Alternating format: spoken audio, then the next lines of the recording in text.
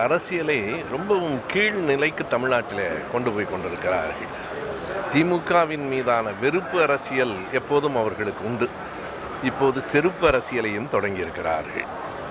எல்லா இடங்களிலும் செ- அதாவது தேசிய கொடி பறக்கிற ஒரு காரின் மீது கூட அவர்கள் செருப்பு வீசுவார்கள் என்றால் அவர்களின் தேசபக்தி என்னவாக இருக்கிறது என்பதற்கு அதன் அடையாளமாகத்தான் அதை பார்க்கிறேன். ஒன்றே ஒன்றுதான் இவர்களின் செருப்பு அரசியலுக்கு திராவிட இயக்கத்தின் நெருப்பு அரசியல் பதில் சொல்லும். ஒரு மனிதனுடைய பாரம்பரியத்தை பற்றி பேசிக்கொண்டிருப்பது என்பதே அவரை பற்றி அவர் செய்கிற செயல்களை பற்றி பேசுவதற்கு அவர்களுக்கு வேறொன்றும் இல்லை என்பதற்கான வெளிப்பாடு தான் பிடிஆரினுடைய பாரம்பரியம் என்ன என்று தமிழ்நாடு அறியும். அவருடைய தாத்தாவினுடைய காலத்திலிருந்து நீதி கட்சியினுடைய தொடக்க கால தலைவர்களில் அவர் ஒருவராக இருந்திருக்கிறார். என்று ஆனால் நான் அவருடைய பாரம்பரியத்துக்காக மட்டுமே நான் அவரை பாராட்டவில்லை.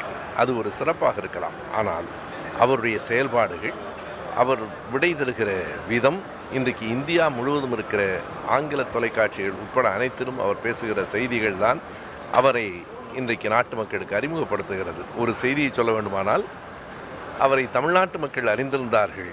இவர்கள் செருப்பு வீசியதற்கு பிறகு இந்தியாவே அறிந்திருக்கிறது. இந்தியாவே அவரை பற்றி பேசுகிறது. அவருக்கு இவர்கள் மறைமுகமாக புகழ் சேர்த்திருக்கிறார்கள் என்றுதான் தோன்றுகிறது. திராவிட இயக்கத்தின் வரலாறு அவர்களுக்கு தெரியாது. கடலூரில் ஒரு இடத்தில் ஐயா பெரியாரின் மீது செருப்பு வீசினார்கள். அந்த இடத்தில் இப்போது ஒரு சிலை இருக்கிறது. செருப்பு ஒன்று விழுந்தால் சிலை ஒன்று எழும் என்கிற வரலாறு நம்முடையது. எனவே பிடிஆர் அவர்களை பற்றி தனிப்பட்ட முறையில் பேசுகிறவர்களுக்கெல்லாம் அவரே விடை சொல்லவில்லை. நாம் சொல்ல வேண்டிய தேவையில்லை.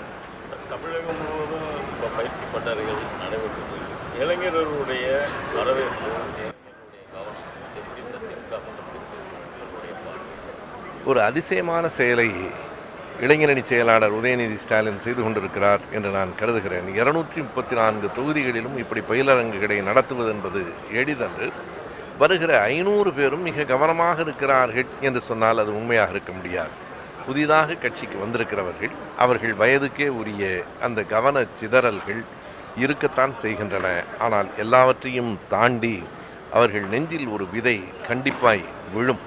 அவர்கள் வெறுமனே கட்சியினுடைய அதுவும் ஆளுங்கட்சியினுடைய உறுப்பினர்கள் என்கிற நிலையை தாண்டி நீண்ட பாரம்பரியமிக்க ஒரு சமூக சமத்துவத்துக்காக பாடுபட்ட மத நல்லிணக்கத்தை என்றைக்கும் நிலைநிறுத்த வேண்டும் என்று நினைக்கிற ஒரு கட்சியில் நாம் உறுப்பினராக இருக்கிறோம் என்கிற பெருமிதத்தை அந்த இளைஞர்களுக்கு கொடுக்க எங்களை போன்றவர்கள் முயற்சி செய்கிறோம்.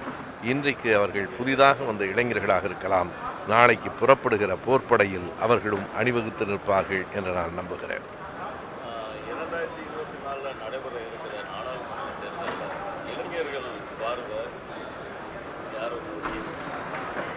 இன்றைக்கு இந்தியா முழுவதுமாக இன்னொரு தலைவர் இன்னொரு கட்சி மாற்றாக வேண்டும் என்கிற எண்ணம் வருகிறது.